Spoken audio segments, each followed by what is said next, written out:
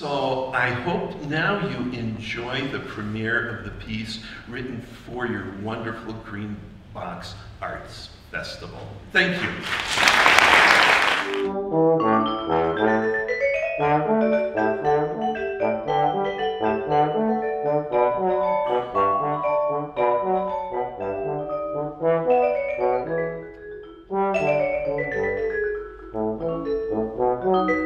Thank you.